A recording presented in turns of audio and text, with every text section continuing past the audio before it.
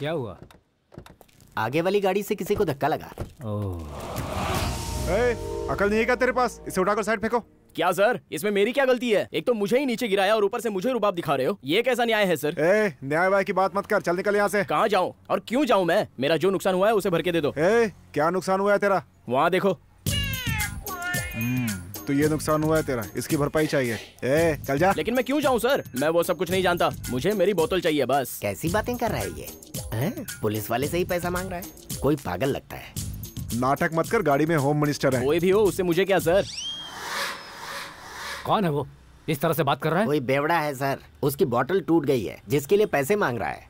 आपको जो करना है करो मैं नहीं जानता। मुझे मेरा हर जाना चाहिए वरना मैं इस गाड़ी को आगे जाने नहीं दूँगा। अरे देखिए माता जी बहन जी देखिए ये कैसा इंसाफ है आप ही बताइए। इनके लिए एक कानून हमारे लिए एक कानून ऐसा होता है क्या? बगल लोग इकट्ठा हो रहे हैं। उन्हें पता लगा कि मैं अंदर हूँ तो सारी रामायण शुरू हो जाएगी। जल्दी जाकर उसे पैसे दो और क्लियर करो।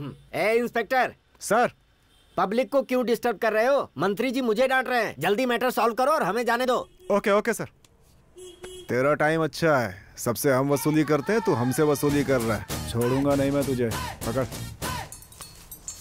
तुझे तो देख लूँगा। हाँ इत्मीनान से देख लेना। हाँ